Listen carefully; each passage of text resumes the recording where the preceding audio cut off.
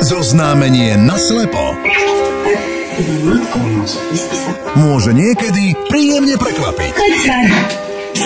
Toto sa nedajú. Láska na chate od 30. augusta na Jojke.